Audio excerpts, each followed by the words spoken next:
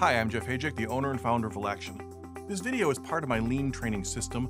It was originally released as a DVD a long time ago, but times have changed, and the look of some of these LTS videos is now a bit dated. The content is still spot on though, so rather than just discontinue the line, I am posting the majority of each of the 36 videos here, with the remainder available at Velaction Videos. That's our video service where you can download a wealth of supporting content and watch subscriber only videos. I recommend subscribing and hitting the notification button if you want to make sure you don't miss any new content. I would also really appreciate if you would hit the like button if this video is helpful and you want to see more content similar to it. The like button helps us get found on YouTube, but it also lets us figure out where you want us to put our future effort. Now enjoy the free version of this video. Welcome to Velaction Continuous Improvement's presentation on how to use metrics to manage your operation. My name is Jeff Hajek, and I am the owner and founder of Velaction. I am also the author of the book, What Do You Mean I Gotta Be Lean? Let's take a moment now to talk about what you should take away from this presentation. First of all, we want you to learn the benefits that using metrics can bring to your management style. We also want you to learn how to determine which metrics to use. And of course, a metric would not be effective unless it had a goal associated with it. We'll talk about how to go about gathering the information you need to get the most out of your metrics. And finally, we'll talk about how to use metrics to make improvements in your operation. Let's start off by defining what a metric actually is. In a nutshell, it is a standard measurement that you use to gauge performance and that performance can be either of a process or of an organization. Imagine trying to drive your car without the gauges on your dashboard. You could probably do it, but it would be a challenge. And there's also a good chance that you'd run into problems. For example, without a speedometer, you'd be likely to get speeding tickets. What the gauges let you do is recognize abnormal conditions and make adjustments when things aren't going as planned. Now, in your business, your metrics will probably be logged over time, but they serve the same purpose. They let you know how you're doing. Metrics have to be more than just a number, though. They have to be associated with an expectation. Think back to the dashboard on your car. Seeing 3000 on an RPM gauge doesn't mean anything unless you have an expectation of where it should be. If you're cruising down the highway, it might be your optimum range, but if you're sitting at a stoplight, it could indicate a problem. The same principles apply when you're using metrics to manage an operation. For example, productivity of 7.1 units per labor hour might be good if you'd been averaging 6, and it might be poor if you'd been averaging 10. You have to know where it should be. Now, in most cases, this expectation is a little bit higher than your current performance. Typically, companies are always striving to get better. And this chart shows that. The A indicates actual performance, and the T indicates your target performance. The target will likely be a little higher than your actual. But from your current state, there's three potential future states. In the first state, your actual performance starts to slip. And this is what we commonly call a problem. Having good metrics in place lets you identify this situation early so you can immediately make an effective countermeasure. Nipping problems in the bud often dramatically reduces their cost. In the second state, your actual performance is static, but the target rises. This is normally done to capitalize on some sort of opportunity. For example, the sales team may have been doing some data mining and realized that the customers that received their products the fastest tended to order more. That would indicate that a faster delivery time would lead to higher sales. Discoveries such as these often drive more aggressive targets. The third future state is the status quo. Now, that doesn't mean that your actual and your target are the same. It just means that both are moving along as expected. But even in the status quo, you can't get complacent, and that's because the competition isn't. There's a good chance their performance is actually increasing. And in today's cutthroat business environment, that's the same as your performance dropping. But regardless of which of these future states you're facing, there really is only one reason to actually use a metric. And that is to highlight specific improvement opportunities. It's easy to know that you have to get better. It's much harder to know specifically where you need to improve. I'd like you to keep a few things in mind as we continue talking about metrics. The first is that to make an improvement on a process, you have to deeply understand it. And that leads into the second point here. Metrics drive a high level of process scrutiny. When you see something changing in a metric, it's hard not to dive in and look why it's happening. And you may notice that the common link in these first two insights is that they both consume resources. Investigations take time. If you put a metric in place, make sure that it actually measures a true need. Insignificant metrics dilute the value of measuring your operation. Getting the most out of your metrics requires understanding that not all metrics are created equal. Most people think of metrics as measuring the output of a process.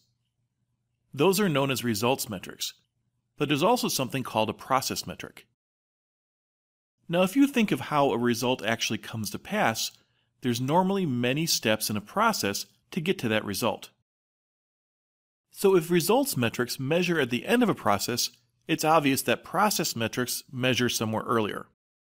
Process metrics focus on the activities that lead to the results. A good measurement plan will include both process and results metrics. Let's take a look at how they compare. The biggest difference between the two is that process metrics measure how we are doing right now. Results metrics look at how we did in the past. And this difference in the timing plays a big role in how we use the metrics. Process metrics are great for taking immediate action. Results metrics are more focused on reflection. And that reflection is very useful when you're developing strategy. But it's not as helpful when you're trying to find the root causes of a problem. To get those, you need to have a better understanding of the process that's causing your issue. One thing that is probably clear to you is that process metrics are much more useful at the front line. Frontline leaders and their teams tend to be very focused on production. They want to make sure they get their work done for the day. Process metrics help them do that. And one of the big reasons it's so helpful for them is that process metrics operate on a very short cycle. In some cases, they can provide near real time information. That fast pace of information is very useful when doing the plan, do, check, act cycle of problem solving. Let's take a look at how process metrics and results metrics work in real life. There are two common measurements that people use to evaluate their fitness. The first is that they might measure their weight, and the second is that they count calories. Now, as popular as measuring weight is, the problem is that it's hard to act upon that information. Doctors like it because it helps evaluate future risk. But for the typical person trying to lose weight, looking at a scale tells you how you did. It doesn't tell you right now that you're doing something right or wrong. Counting calories, on the other hand, lets you take immediate action. Imagine that it is the middle of the day and you realize you've had too many calories. There is still time to adjust. You could have a light dinner or eliminate an evening snack and get back on track. So, in this situation, what it really comes down to is the results metric tells you whether your plan was effective, the process metric tells you whether you're sticking to your plan. I hope you are getting something valuable out of this video. If you want to get more out of this program, we recommend watching it on Velaction Videos. You'll be able to watch the entire video, mostly ad-free, and view subscriber-only programs. You'll also have access to a load of continuous improvement downloads. So let's talk about some actual metrics you might see in your workplace. A common results metric is a customer satisfaction score. Now, that score comes from a variety of activities that a frontline team performs. Answering the phone is one of those activities. The average time it takes to answer that phone might be something that matters to the customer. Eventually, that will impact the customer satisfaction score. But if the employees had to wait until the end of the month to see their customer satisfaction scores, there's a good chance that changes in their hold time would have gone unnoticed. Similarly, these other results metrics each have process metrics that are associated with it. Again, each of these process metrics are things that you can make immediate adjustments to. So if you see something changing, you can take action. The results metrics, while they show how effective the organization is, again, they come after the fact and they're not closely tied to an activity. It can be a challenge to figure out what to do to fix things. So, how should you go about setting up a new metric? Well, the first place to start is by looking at the voice of the customer. It is critical to understand what your customers want you to deliver if you're going to try to measure your organization. And the second thing you have to know is your strategy. Any metrics you have in place need to align with the overall goals of the organization. The third step is to take a close look at your daily management. You'll want to identify the core business activities you need to improve on, and you'll also have the opportunity to add metrics based on the improvement opportunities you identify. One of the benefits of daily management is that it highlights problems as soon as they occur. Problems that occur frequently and are disruptive to flow provide good ideas for metrics. Once you've identified the things you want to measure, you have to set targets. These goals can either be thresholds to keep performance from dropping, or they can be set to spur improvement. With the goals in place, it's time to define the process metrics that will lead you to achieving those goals. This will include defining the units as well as setting the targets for your process metrics. You'll also need a data collection plan. This should be very specific. It needs to include instructions on how to collect the data, who collects it, and what tools or measuring instruments they need to use.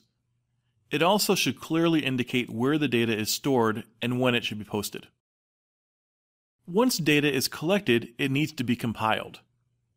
Process metrics need to be compiled very quickly, in some cases even real time. Results metrics do not tend to be as time sensitive. Once metrics are updated, you need to look at them. You need to evaluate what they mean. And you need to turn that meaning into action metrics are worthless if they're not acted upon. I mentioned VOC a few times already. Now I'm going to take a second and talk about what it is. In a nutshell, it's a combination of all the different ways that a customer communicates what it wants and what it needs to your company. Some of this information is actively gathered, and some of it is passive. The customer simply puts it out there and you receive it.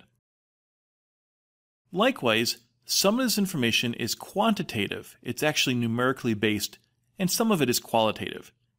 This second category is more focused on opinion. When you combine these two factors, you get four basic categories of voice of the customer. Fact collecting is when you go out and seek numerical data. Data mining is when you go through things like sales records and look for fact based information. Opinion gathering includes things like customer surveys and focus groups. The key here is that you're looking for basic ideas, not necessarily hard facts and data. And the final quadrant includes the ear to the ground. Essentially, this is watching blogs, listening for news reports, and just trying to gather up any information that's out there about your company. So, why is this important? Well, essentially, the way your customers grade you should provide you with valuable insight about which results metrics would be important. A well done strategy looks a lot like an onion. The outside layer is the corporate vision. This is the big picture view of where the company wants to go. Turning that into something actionable, though, requires a top level strategy. And that top level strategy should cascade down to the organizations within the company. And that lower level strategy should turn into improvement priorities. Now, some of you may recognize this as policy deployment. And those of you who do will know that the improvement priorities are focused on processes. That means they provide a great source of process metrics. Now, daily management is primarily about monitoring production and keeping production on track. Now, this close scrutiny obviously requires some metrics, but it also helps you uncover other metrics, other opportunities of things to measure and help the company get better. But again, as I mentioned earlier, the real benefit of daily management is that it allows you to take immediate action.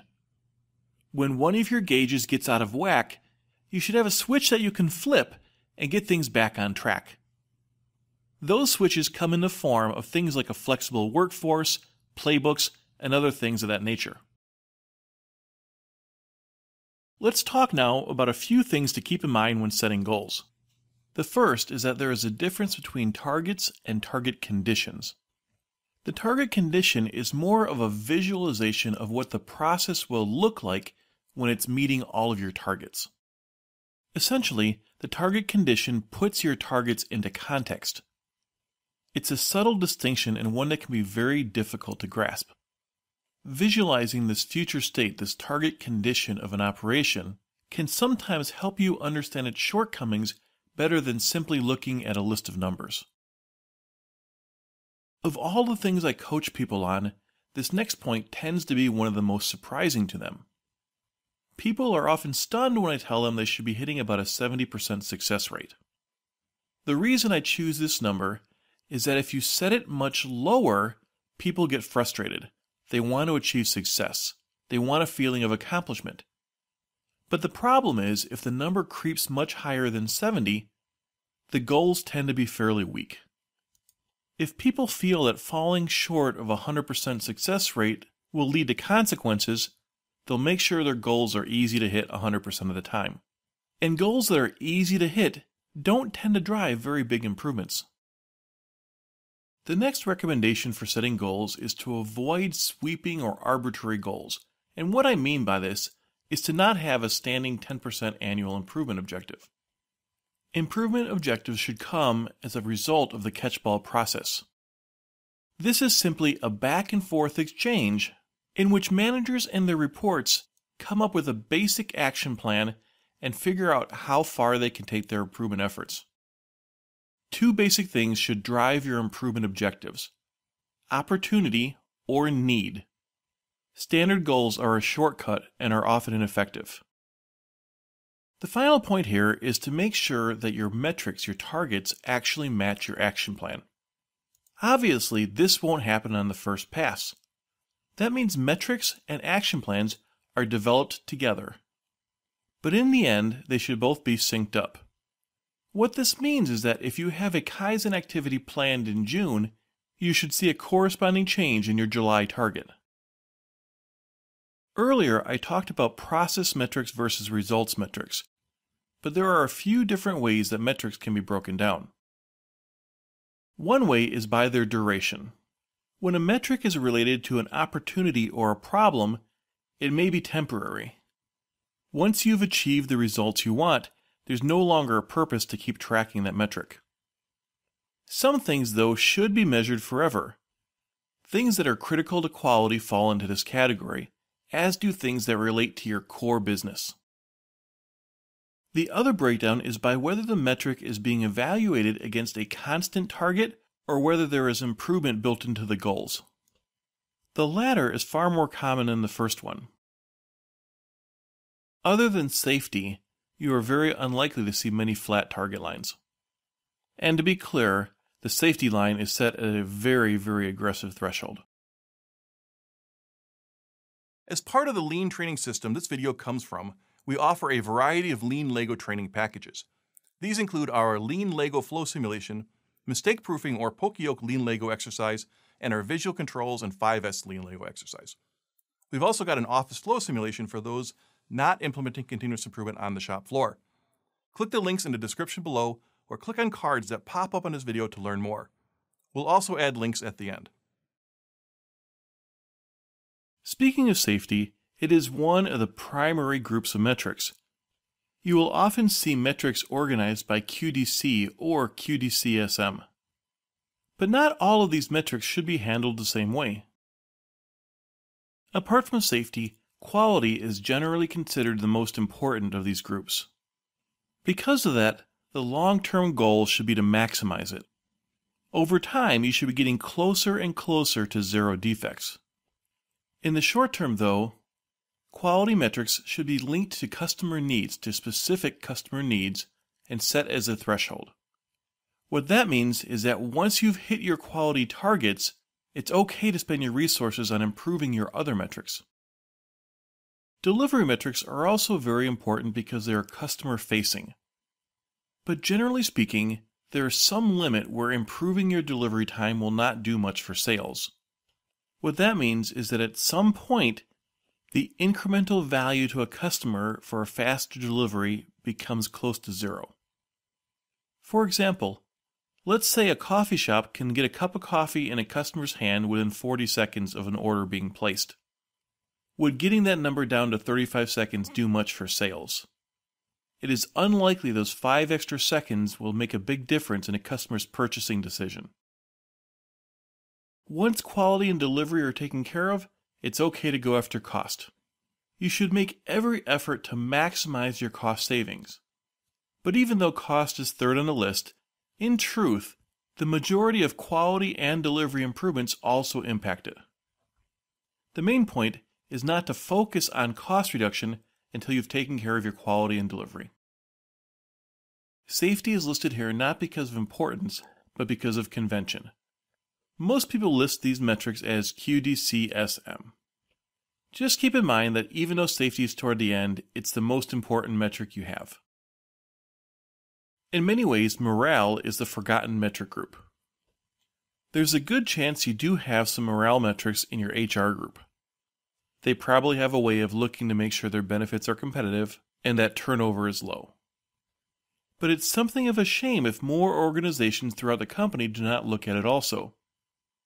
The fact is, good morale helps all of your other metrics. QDCNS all improve with engaged, satisfied employees. At this point, I'd like to talk about process metrics in a little bit more detail. If you recall, earlier I talked about results metrics. They're measured at the very end of a process. The problem with that, though, is that there can be a very long delay between a time that something happens and when the result is felt. That's not to say, though, that results metrics are not valuable. They provide a good indication about whether the process is delivering upon customer expectations.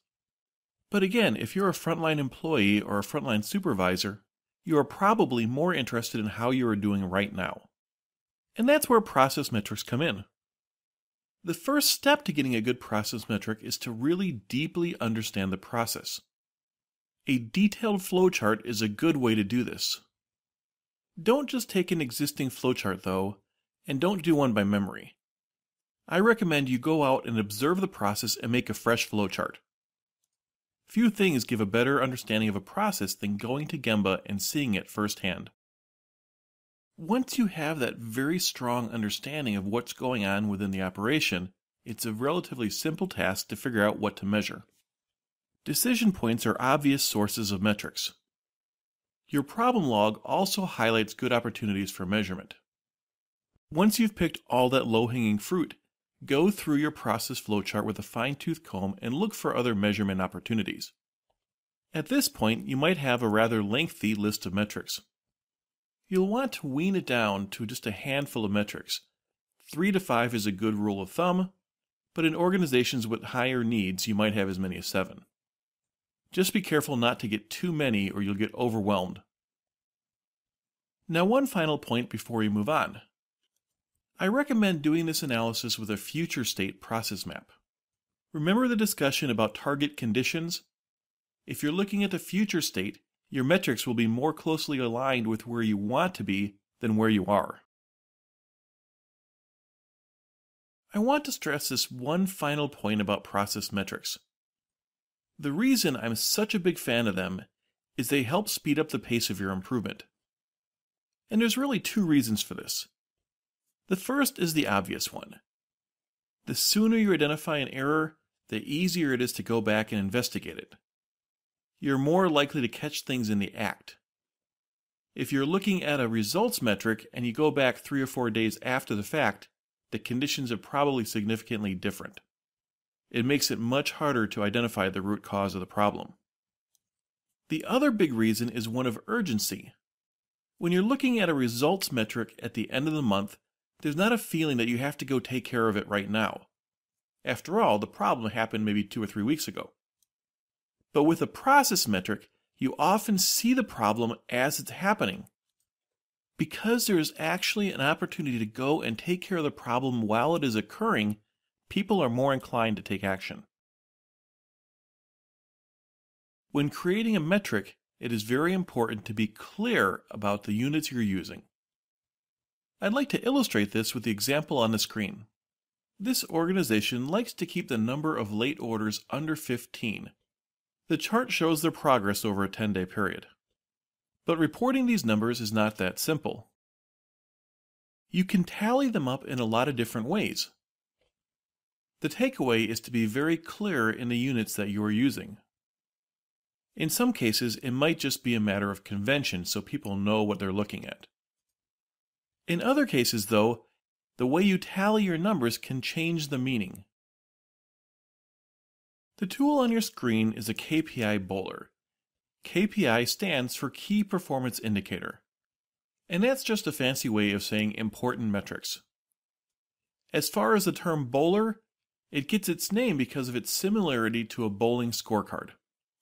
This tool allows you to see at a glance how your organization is doing. You'll notice that along the left-hand side, the categories that we talked about earlier are listed.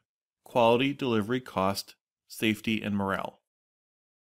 This bowler shows an annual plan in it. And remember, as we talked about earlier, you're not going to make even progress throughout the year to get from your starting point to where you want to be in December. Make sure that the bowler reflects your action plan. And a final point I want to make about this KPI bowler is that it should have an owner. There should be a single individual responsible for each bowler you have. In most cases, that person will be the manager of the area. On a side note, if you would like to use this KPI bowler in your organization, feel free to download it from www.velaction.com. You'll also find some more detailed instructions on how to use it. One of the things that many people have to adjust to in a lean organization is the fact that metrics are posted very conspicuously. One of the most common methods of posting is the KPI board. The board itself can be anything from an easel to a taped off section of wall on up to a felt covered bulletin board.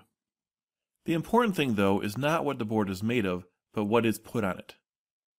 KPI boards commonly have sections for each of the major categories. Due to space constraints, though, you may see safety and morale put together. While this might seem to be minimizing its importance, the reality is when you have a serious safety problem or morale problem, you address it right away. Because of that bias for immediate action, there's less need for real estate on the board. The operation of the board is actually rather simple.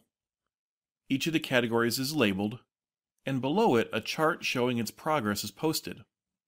If everything is on track, you would see a board that looks similar to this. But if you had a sharp eye, you would have noticed that everything is not on track.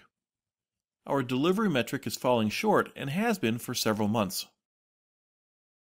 In this situation, if you're falling short on your metric, you should definitely see a countermeasure to go along with it, and that would be posted right below the chart. This KPI board also has a neat little feature.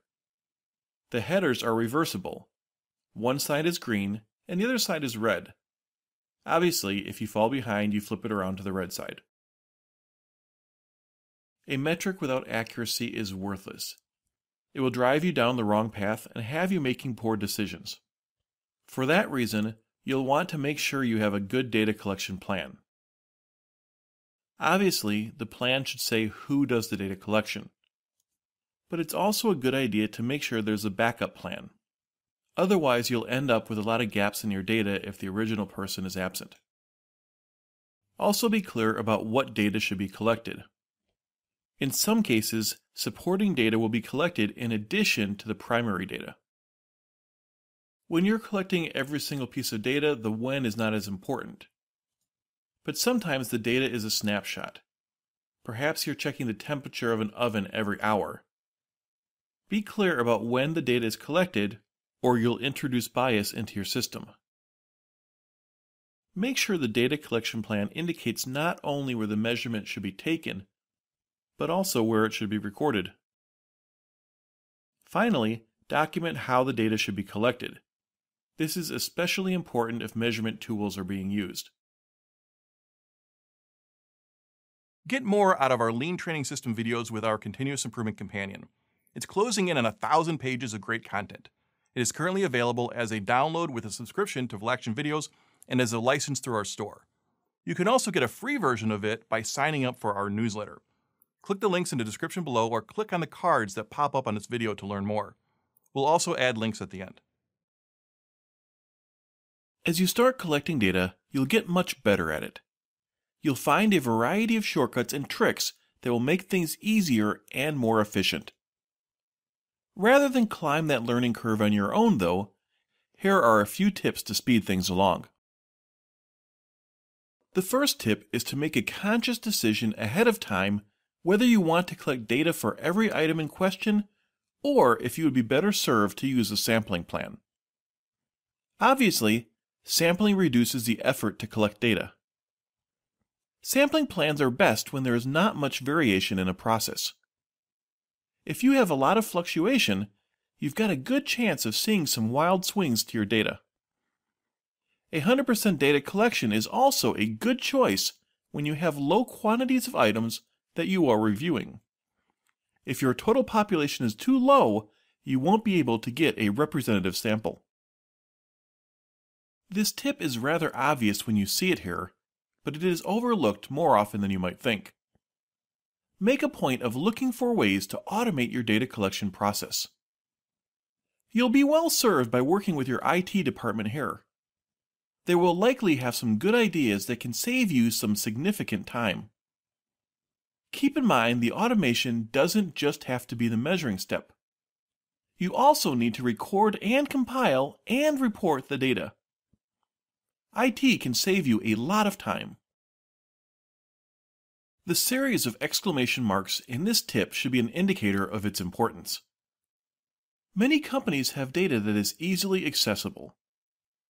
If that data contains the information you need, you're in great shape. Often, though, it is close, but isn't an exact match. Resist the urge to alter your metric and the data collection plan to make use of the available data.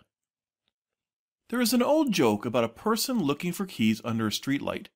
A friend walks up and offers to help search. The friend asks where the searcher lost the keys, and the response is, over there by the side of the house.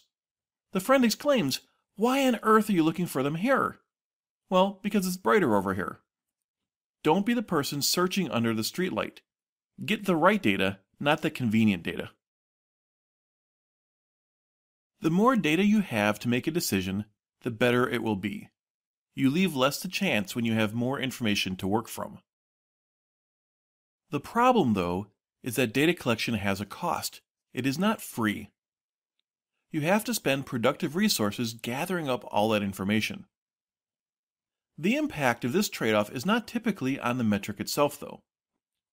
You'll have a fairly good idea of the data you need to track your KPIs. The uncertainty of the obstacles you might face drives this dilemma. When you collect a data point, you might need three bits of information to complete your metric. But there might be more bits of useful data available that can help if you need to do a countermeasure down the road. That's where the challenge lies. You are, in effect, buying an informational insurance policy. The best recommendation I can give is to collect more data when the process is unreliable and taper it back as you start eliminating more problems. A stable process probably needs very little extra data collection. Another thing to consider is that data can always be combined if it is too granular. It doesn't work in reverse though. You can take raw data on the size of a component and turn it into a pass-fail metric. You can't, though, tell from a data point of fail whether an item missed the spec by a little or by a mile. The prioritization of your work often requires knowing the magnitude of a problem. Once you have all your data collected, you'll need to compile it. Raw data is seldom useful as collected. It needs to be put in a format where it can be assessed. For example, in this image, you might have to put the data on production in with the data on labor hours to get a productivity metric. The ratio is much more meaningful than the individual pieces of data. One of the benefits of living in a computerized world, though, is that many processes can be automated. If at all possible, combine your data collection and compilation steps. This does two things. The first is that it reduces the time it takes to work on the data. The second, and perhaps more important part, is that it will reduce batching. A sophisticated lean leader will rely on data for decision making, so it tends to stay up to date. Those that are not as advanced on their lean journey, though, might not have data so tightly integrated into their management style. They tend to get sidetracked and let the data compilation fall behind. Metrics that are tracked continuously drive more action than those that are reviewed once a month, or even less frequently. The easier the data processing step is, the easier it is to make data become part of a leader's personal standard work. Once you have the data for a metric laid out in front of you, you need to evaluate it. Does the metric give you enough insight to act on a problem? Now that you have something tangible to look at, is it giving you all the information you thought it would? Do you need to adjust the information you are looking at? Metrics can take a bit of dialing in to get just right. A very important part of using metrics is to be able to find the root cause of a problem from them. If your metric takes you into a blind alley and you can't figure out the cause of a problem from it, there's not much value there. This video comes from Velaction's Lean Training System, which takes a module-based approach to learning about continuous improvement. Modules include a PowerPoint presentation and student guides for every video, plus there are many exercises and quizzes as well. There's also a whole host of supporting content in the form of terms in our Continuous Improvement Companion and downloadable articles. Our modules are currently available in our store and as downloads at Velaction Videos. Click the links in the description below or click on the cards that pop up on this video to learn more. We'll also add links at the end. Fortunately, if you've gone through the steps to systematically develop your metric, there is probably tremendous value in it. And that value comes because you will be able to act on the information you are tracking. It can be demoralizing to a team to spend a lot of time gathering data and never see anything tangible come of it. But if the information they collect spurs some efforts to improve, they will be more likely to support the data collection effort in the future. That action comes in many different flavors. In nearly all cases, though, measurement leads teams to unearth problems, deal with the issue, confirm that the solution works, and then standardize a new process. The new process is then measured, which perpetuates the cycle. Now, this series of steps may have a ring of familiarity to it. It should. The steps of using metrics roughly corresponds to the plan, do, check, act cycle. And that cycle works best when it becomes ingrained in an organization. When it becomes ritualized, it is that automatic, every time, no excuses approach to managing with metrics that supercharges a continuous improvement effort. It is easy to skip a task that is not planned for and that is not built into the way of doing business.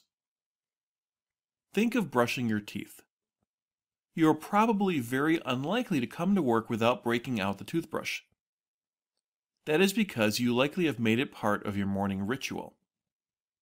Improvement effort, specifically the way you use metrics to manage an operation, should have the same level of ritualization.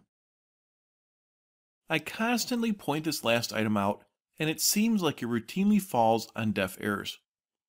If you want your organization to do continuous improvement activities as part of their jobs, you have to give them the time to do it. If data collection and managing metrics and resolving problems takes 20 hours a week, that is the equivalent of needing an extra half person on your staff. The time spent doing continuous improvement activities tends to pay off in the future, but there is a cost to it. If you make people force improvement into a tight schedule that is already full, you are sending a clear message about priorities. One of the really great things about using metrics as part of your ongoing management is that it acts to speed up the PDCA cycle. When people are first introduced to PDCA, they think of it as a tool for problem solving projects. They seldom realize it doesn't have to be done only for big, resource intensive events. In fact, there is a case to be made that big projects are great for complicated problems and for creating learning opportunities, but the true driver of improvement in a company comes from the small, fast, repeated, unrelenting, continuous application of PDCA whenever an abnormal condition presents itself. This short cycle approach obviously won't provide the same impact on a project to project basis as a week long Kaizen event would. But it makes up for that in volume. You can do a tremendous number of quick cycles, especially when you have ongoing metrics to give you feedback on whether the improvements are working. So, you can do a root cause analysis, make a change on a targeted part of the process, and then watch for the results of the change. You can change the same thing several more times over a short duration to dial it in. In addition to the impact from the actual change, you also build an improvement rhythm. When a problem is identified from monitoring a metric, and you habitually make improvements right away, that speeds up the pace of improvement frees up more time, and builds even more momentum.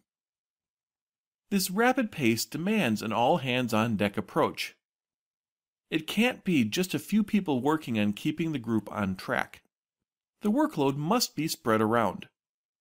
As a result, it gives people more opportunities to make meaningful changes than they are likely used to doing. That leads to stronger engagement and all the associated benefits of having a team that is vested in their jobs. Many of the improvements I've been talking about are just do it type of projects. Others, though, will take a bit more effort. When you have a miss on a monthly metric, it is important to have some systematic way of dealing with it. Not only does this approach help with solving problems, but it also acts as a communication tool. This countermeasure sheet is a valuable tool for getting metrics back on track, and it should be required for any metric that falls more than 5% off the pace of improvement. Because the countermeasure sheet is used primarily for getting back on track with metrics, there is a section on gap analysis. This simply clarifies what the target is, where you are, and what the delta is. Keep in mind that a metric with an annual improvement target should already have an improvement plan to go with it. The countermeasure is an addendum to that plan. It is a way to take special action to get the plan back on track. A big part of this gap analysis is to figure out the root causes of the problems that are keeping the plan off track. But understanding these underlying reasons is only the first step. You also have to understand how big of an impact the particular issue is having on the plan. Obviously, if the gap is 10 and the root causes you are going to work on fixing only add up to 7, you won't close the gap. You'll need to find some more root causes. Identifying the sources of problems doesn't actually get you closer to being on track with your metric, though. You still have to take action. And to know whether the actions will be enough, you have to create a list of countermeasure tasks. As you do, you also have to estimate how big of an impact each will have on the root causes you identified. Not every root cause will be completely resolved with a single task. In addition to making sure the plan is sufficient, this analysis also makes sure you don't overestimate the impact of your countermeasures. The benefit of a solution cannot exceed the gap caused by the problem or problems it is addressing. So the purpose here is to make sure you are planning the right amount of activity to completely close the gap between where you are on your metric and where you want to be. When you add up the impact of all your countermeasures, you should be back on track. If not, you've got more planning to do. Metrics present an interesting challenge. They are your guides, so they should not be changed at the drop of a hat. But they also should not be set in stone. When reviewing your progress, make sure you are looking not just at how you're doing at hitting your targets, but also about whether the targets and metrics were established properly. Sometimes, as you start on your action plan, you will realize that you grossly underestimated the challenge you face. To be honest, that incorrect assessment is a problem that should be looked at, but it is not one that should continue to haunt you throughout the year. If a metric proves to be too challenging, you have two basic options. If the metric is one of your priorities or is linked to a critical part of the overall business strategy, you'll have to reallocate resources. If the target is lower on the pecking order and there are no more unallocated resources to throw at it, you'll have to adjust the target. Be careful not to confuse failing to act on a plan with a metric being too hard. Of course, if you skip the tasks on your plan for three or four months, it will seem too hard at the end of the year. But I urge you not to take the action of changing a metric lightly.